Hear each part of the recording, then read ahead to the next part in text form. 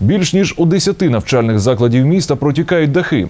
У таких умовах школярі здобувають знання, а дошкільнята готуються до першого класу. Коштів, які виділяють з міського бюджету, недостатньо, аби ліквідувати цю проблему. Тож депутати попросили дофінансування.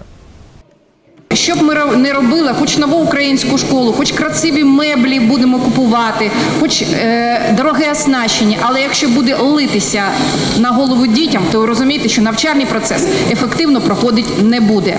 Е, сума близько 6 мільйонів. У списку закладів, яким необхідний ремонт даху, 8 дитсадочків, дві школи, один НВК та центр юних натуралістів.